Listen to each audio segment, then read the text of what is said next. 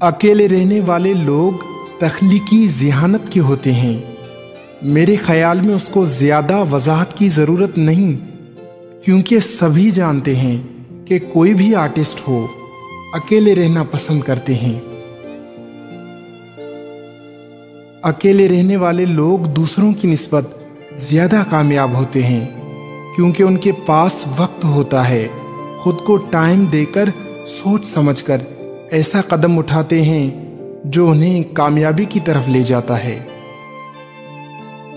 अकेले रहने वाले लोग जहनी और जज्बाती तौर पर मज़बूत होते हैं।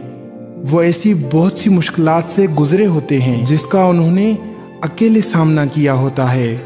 और वो आइंदा की मुश्किल से निमटने के लिए भी जहनी तौर पर तैयार रहते हैं। अजीम लीडर अल्लामा इकबाल ने मुशायरों और जलसे जुलूस में बहुत कम शिरकत करके अकेले रहते हुए बांगे दरा बाले जिब्रील जैसी किताबें अवाम के सामने पेश की। अकेले रहने वाले लोग मुस्बत किरदार के होते हैं क्योंकि जो लोगों में रहते हैं वो अपना मुआजना दूसरों से करते रहते हैं। वो अगर ऐसा है तो मैं क्यों नहीं? इस तरह उनकी पॉजिटिविटी खत्म हो जाती है।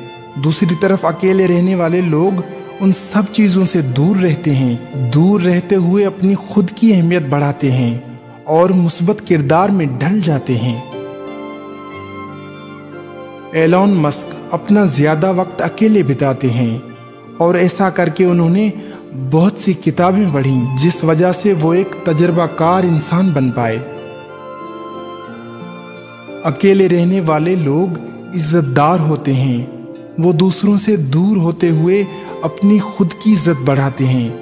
क्योंकि अगर आप बार बार किसी से मिलते हैं, उसके करीब होते हैं, उससे अपनी बातें, अपने आइडियाज़ शेयर करते हैं तो उनके सामने आपकी इज़्ज़त कम हो जाती है। उस वजह से अकेले रहने वाले लोग दूसरों से ज़्यादा इज्जतदार होते हैं।